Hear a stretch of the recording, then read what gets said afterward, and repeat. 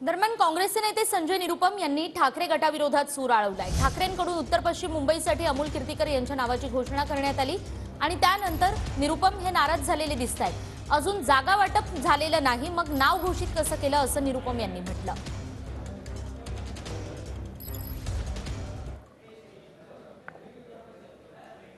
जब तक MVA final list नहीं करती और अधिकृत तौर पर घोषित नहीं करती तब तक उन सीटों पे अपना उम्मीदवार घोषित कोई नहीं कर सकता। दूसरी बात यह है कि जिस उम्मीदवार को लेकर के आग्रह है, वो उम्मीदवार कौन है?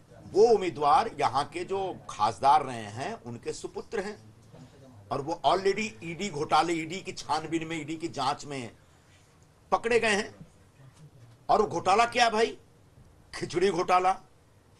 तो गरीब मजदूरों की खिचड़ी या मुफ़्त खाने में कमीशन खाने वाले व्यक्ति को आप इतना जिद करके उम्मीदवार क्यों बना रहे और इसलिए मैं आग्रह करता हूँ कि जो कल घोषणा की गई, उस घोषणा को वापस